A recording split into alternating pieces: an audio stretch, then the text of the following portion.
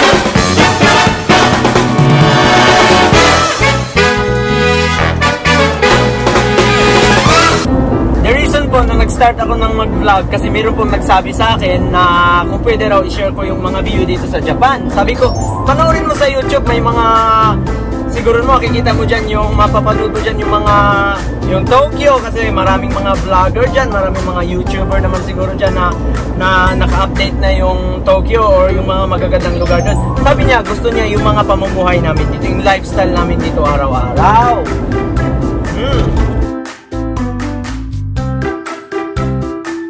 I-share ko rin sa inyo yung mga dinadaanan namin dito, lalong-lalo na ngayon. Andito po ako sa pinakamahabang tunnel dito sa Tokyo. Para po ma-imagine ninyo yung mga dinadaanan namin, lalong-lalo na pag ikaw ay mahilig mag-drive.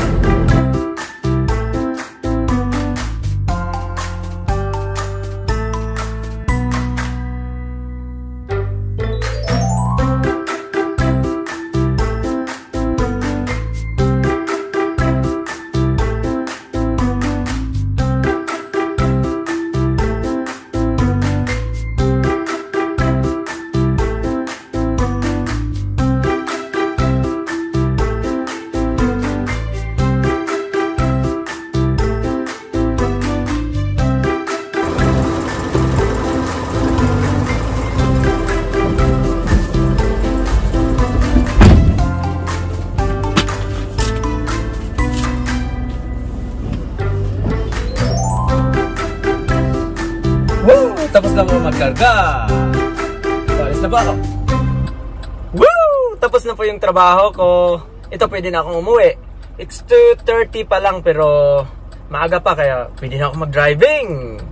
So, ayun po. Babalik po tayo dun sa tunnel na dinadaanan. Ito pakita ko po sa yung dadaanan ko.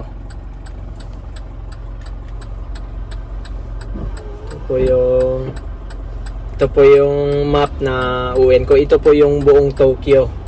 Kaya ito po, ito po yung tunnel na yung pinakamahaba, yung sinasabi ko kanina, ang pinakamahabang tunnel. Ayan po, babalik po ulit tayo dyan. Okay. So, here we go!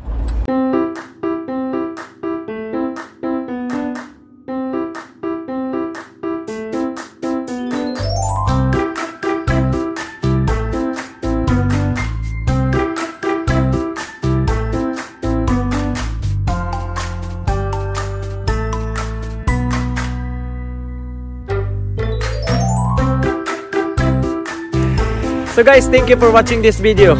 Andito po ako ngayon sa garden na malapit po sa yard namin. Nakikita nyo po yung mga sunflower, yung mga bata po yung nagtanim niyan. So guys, thank you guys for watching my video. Pasensya na kung hindi ko nabuo yung uh, tunnel. But I promise you, bibigyan ko po kayo ng update nun. So ito po yun, yung nakikita niyo po sa video ngayon, yan po yung daily work ko. But of course, isama ko rin kayo sa pagpapamasyal namin. share ko sa inyo kung ano may magagandang view doon, kung saan man yon. So guys, again, thank you for watching this video. If you like my video, please push that like button and do not forget to subscribe. Sayonara! Ito po yung daan ko pa uwi.